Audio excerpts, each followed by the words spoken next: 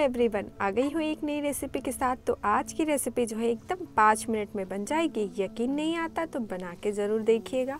तो सबसे पहले यहाँ पे कटा हुआ प्याज डाल देंगे बटर में। और थोड़ी सी तेल भी मैंने डाल रखी थी पहले से। तो तेल बटर और साथ में प्याज को अच्छे से डाल लेना है। प्याज को ज़्यादा नहीं भुनना है। थोड़ा भुनने के बाद इसमें डाल देंगे कटा हुआ गार्लिक लहसुन और इसे भी थोड़ी देर भून लेना है। भुनने के बाद इसमें डालेंगे हम मशरूम मशरूम की बना रही हूँ रेसिपी तो ऑब्वियसली मशरूम ही डालूँगी। तो यहाँ पर मशरूम को अच्छे से धो लेना है, साफ़ कर लेना है, हल्के से गर्म पानी से भी धो लेना है, ताकि इसमें जो भी कीटाणु बैक्टीरिया वो सब निकल जाए और इसकी गंदगी साफ़ हो जाए। तो यहाँ पर धो धा के अच्छे से मैंने इसे कट कर लिया है और अब इसे अच्छे से पकाना है। ज़्यादा देर नहीं पकाना है, ये ये जल्दी पक जाता है तो ये बहुत ही आसान सी रेसिपी है। एकदम झटपट से बन जाएगी और सुबह सुबह मम्मियों को बहुत टेंशन होती है कि बच्चों को क्या दे फट से बना करके तो ये उनके लिए है, एकदम फटाक से बन जाएगी। तो यहाँ पर शिमला मिर्च मैंने थोड़ी सी डाली है, थोड़े से सोया सॉस, थोड़ी सी सेजवान चटनी और थोड़ी सी विनेगर बस ये सब कम कम डालना है, स्वाद के अनुसार नमक डालना है, थोड़ी सी काली मिर्च डालना है और इन सबको अच्छे से पका लेना है। जब तक कि मशरूम का पानी ना छूट जाए और पानी थोड़ा सूख ना जाए, तब तक इसे अच्छे से पका लेना है। बस, जैसे ही मशरूम पक गया, आपका ये मसाला जो है तैयार है, जिसे फ्राई राइस में हम मिक्स करेंगे।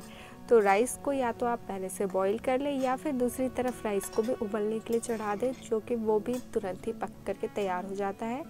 तो यहाँ पर मैंने पहले से बॉईल कर रखी है राइस को। तो यहाँ मैं उसे बस मिला दे रही हूँ। तो ये रेसिपी इतनी आसान है कि आप तुरंत बनाएँ और तुरंत खाएँ, मज़ा ही आ जाएगा और अपने बच्चों को लंच बॉक्स में पैक करके दे दें, उन्हें भी मज़ा आ जाएगा। तो मेरे बेटे को तो ये बहुत ही पसंद आया। स्कूल जाने से पहले ही पूरा टिफ़िन ख़त्म हो गया, फिर मैंने उसे दोबारा भर के दिया। तो इस तरह से बस सबको मिक्स कर लेना है, थोड़ी देर कुक कर लेना है और हमारा ये मशरूम फ्राई राइस तैयार है।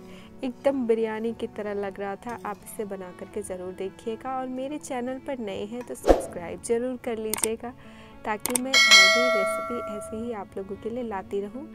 अब हरा धनिया से थोड़ा गार्निश कर लीजिए और इसे अपने बच्चों के लंच बॉक्स में पैक कर लीजिए।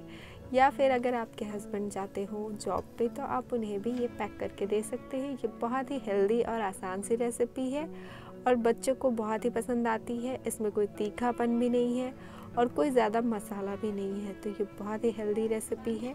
आपको और आपके बच्चे को बहुत पसंद आने वाली है। अब टिफ़िन पैक करने के बाद मैंने सोचा कि ये मैं थोड़ी सी अपने लिए भी निकाल लेती हूँ तो चलिए इसकी प्लेटिंग भी कर लेती हूँ। तो यहाँ पर मैं प्लेट में निकाल रही हूँ और मेरे मुँह में पानी आते ही जा रहा है। मुझे इतनी ज़ोर से भूख लगने लगी कि मैंने तुरंत ही इसे चट कर लिया।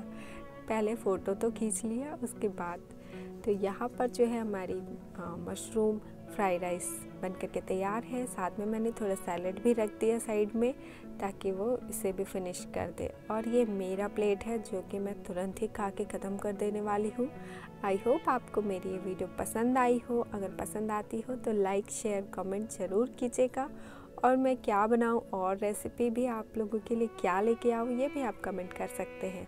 तो ये हेल्दी वाली रेसिपी बन करके तैयार है। आप अपने बच्चों को दे सकते हैं झटपट से।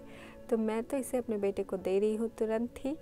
और आप भी इसी तरह से बनाते रहिए, अपने बच्चों को हेल्दी हेल्दी रेसिपीज़ खिलाते रहिए। तो और भी मैं लंच बॉक्स वाली रेसिपी लेकर के आऊँगी तो इसके लिए आप चैनल को सब्सक्राइब ज़रूर कर लीजिए। मिलती हूँ नेक्स्ट वीडियो में। तब तक के लिए bye bye take care stay healthy and happy enjoy